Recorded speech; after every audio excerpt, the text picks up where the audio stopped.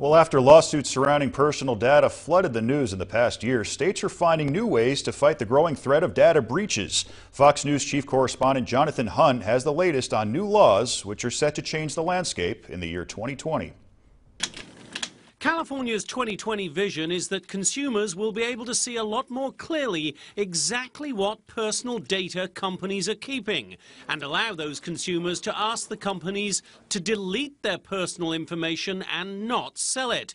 It's the nation's most far-reaching data privacy law aimed at social media giants like Facebook, of course, but also at any large company based anywhere in the country and doing online business with California customers.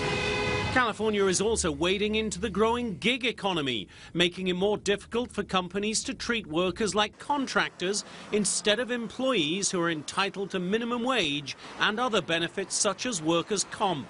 Uber and other companies are challenging the law in the courts and say if they lose there, they'll fight it at the ballot box come November.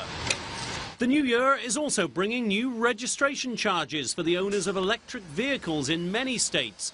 $200 in Alabama and Ohio, for instance, $100 in Kansas. Iowa, Oregon, and Utah are also raising their EV fees. Electric vehicle sales are predicted to climb quickly in the next few years, and states want to find a way to make up for the inevitable dip in gas tax revenue as a result.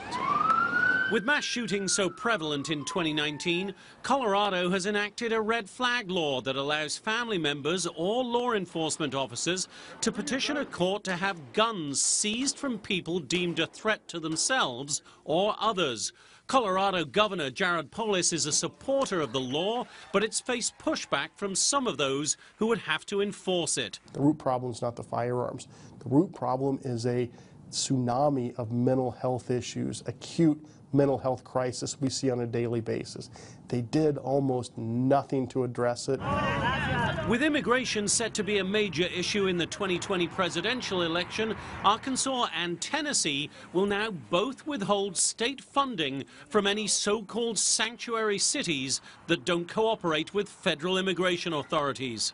Among other notable new laws, recreational marijuana use is now legal in Illinois, and if you're in Vermont, you can no longer throw away food. Composting is mandatory. In Los Angeles, Jonathan Hunt, Fox News.